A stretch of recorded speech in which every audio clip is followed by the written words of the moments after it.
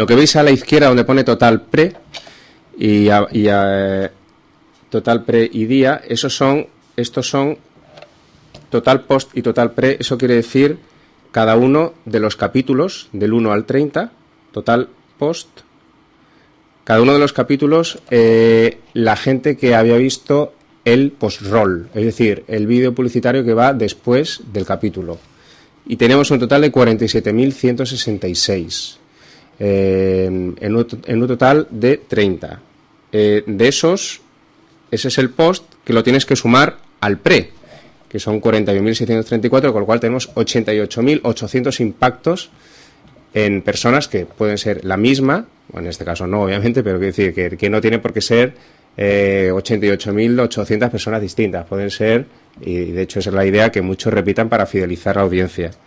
Eh, pero luego seguimos sumando, y es que aquí tenemos, por ejemplo, cada uno de los vídeos que se hicieron de promoción de la serie, donde vemos, por ejemplo, donde veis eh, serie Luisa, serie Miguelín, serie Paco, serie Paqui, estos son cada una de las promos que se hicieron para promocionar a los personajes y, por extensión, a la serie. Vemos aquí a Luisa en primer lugar, donde tenemos 198 personas que han visto el pre-roll, es decir, el, vídeo de la publicidad de antes que tienes que ver para, para empezar a ver el vídeo. Si la comparas con las tomas falsas, por ejemplo, que son 4.076, hay una diferencia abismal.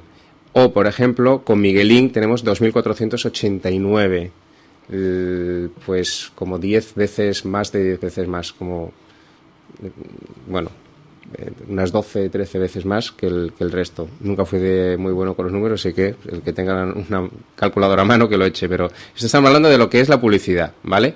Luego vemos, eh, y, de los, la publicidad y de los, cada uno de los capítulos, eh, de los, perdón, de los, de las promos de los capítulos. Y luego ya los capítulos en sí, del 1 hasta el 30.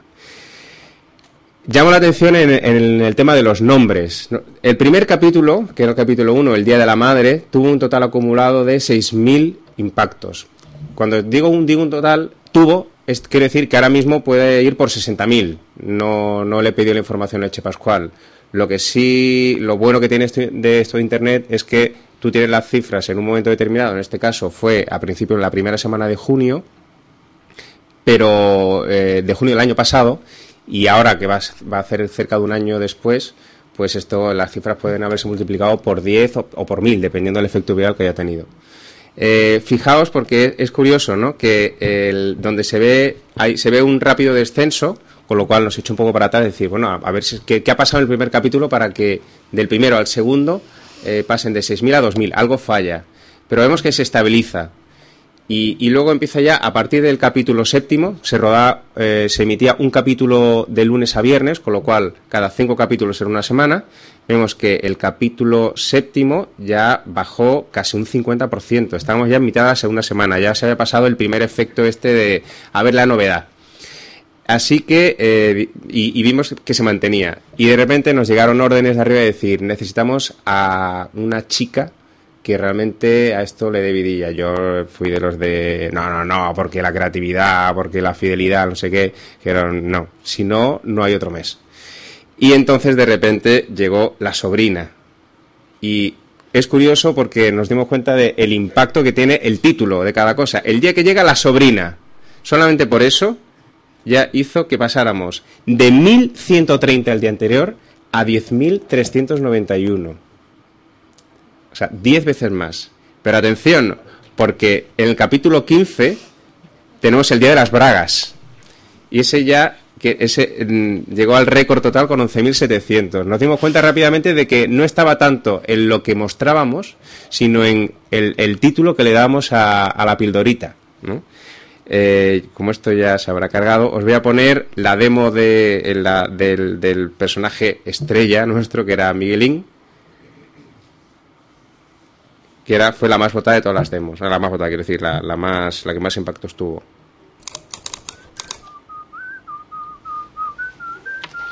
Miguel López Borrego, 20. Recién cumplidos. ¿Familia? Pues yo qué sé. ¿Es usted psicólogo? Pues siempre están encima de mí, no me dejan ni respirar. Miguelín, ayúdame a poner la mesa, Miguelín, la ropa sucia al lavadero, Miguelín, dúchate. Vamos, es que se creen que tienen un criado en medio de un hijo. Además saben perfectamente que no me gusta que me llamen Miguelín. Lo que necesito es mi espacio, es libertad, es intimidad, eh, autonomía, dinero. Y claro que me gustaría trabajar. Pasa que ahora, pues, pues no. Además, es obligación de los padres mantener a los hijos. Mantenerlos, no basta solo con tenerlos. No, no es que no salga de casa, es que eh, salgo poco. No, ahora no tengo novia, pero, pero sí que he tenido, ¿eh? Eh no, no, solo por internet. Tengan B. ¿Hemos terminado?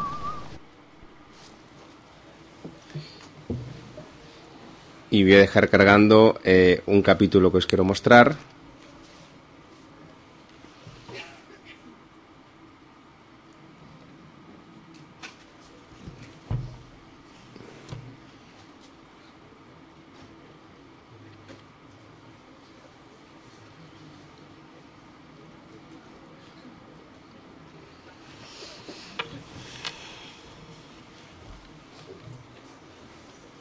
¿Y hasta qué punto os condicionaría un cambio de, patrocinador o de, o de anunciante? Porque veo, por lo menos, hombre, que muchas de las tramas y de los elementos que has ido introduciendo ¿no? a lo largo de este tiempo, lógicamente el mercado es el mercado y el que manda, ¿no? entre comillas, ¿no? desde el punto de vista económico para mantenimiento de la serie, hombre, es el patrocinador en este caso. Y si os habíais planteado alguna vez que el hecho de cambiar de patrocinador, que todo pudiera ser, o, os influiría mucho o poco? En... No, de hecho, la realidad es que estuvimos, la, la serie no continuó porque necesitamos otro patrocinador y, bueno, y no, no lo encontramos. Eh, porque digamos que Leche Pascual ya había conseguido su objetivo, que era posicionar sus productos, y, pero sí que es, es yo creo que hay un equilibrio, ¿no? Y ya lo, lo, lo hablamos antes de otros compañeros de que sí que es necesario que haya que haya otras fuentes de financiación. Y lo que nunca deben es condicionar la creatividad hasta tal punto de,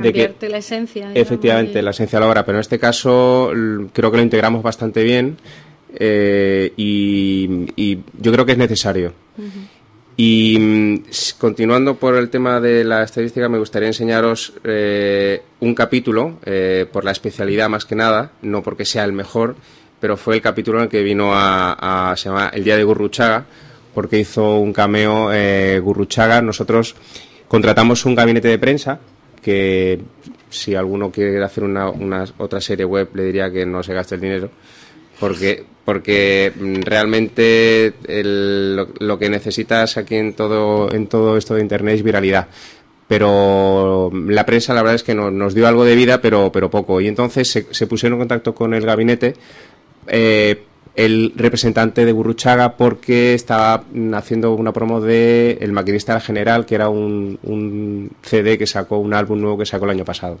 Entonces nos pidió si podía hacer algo y, bueno, como lo Antonio de Chen, pero salvando las distancias.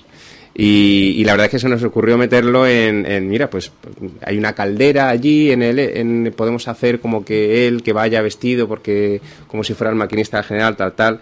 Y la realidad es que cuando llegó él hizo lo que quiso. O sea que...